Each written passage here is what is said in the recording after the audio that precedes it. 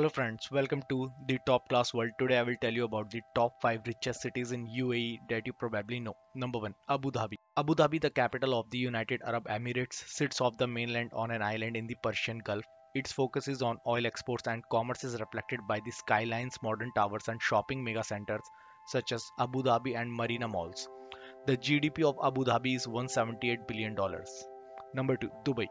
Dubai is known for luxury shopping, ultra modern architecture, and a lively nightlife scene.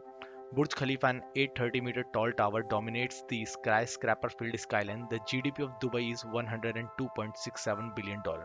Number 3 Sharjah. Sharjah is the third most populous city in the United Arab Emirates after Dubai and Abu Dhabi, forming part of the Dubai Sharjah Ajman metropolitan area.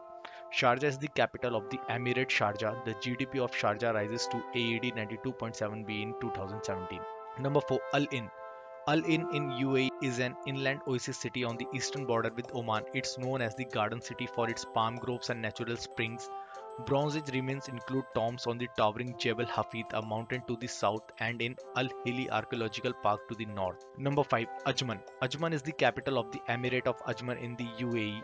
It is the fifth largest city in UAE after Dubai, Abu Dhabi, Sharjah and Al Ain. Located along the Persian Gulf, it is anchored by the larger emirate of Sharjah in territory. The GDP of Ajman is 4.23 billion dollars. So guys, these are the 5 richest cities in UAE that you probably know. Please like and subscribe the Top Class World for more videos. Thank you.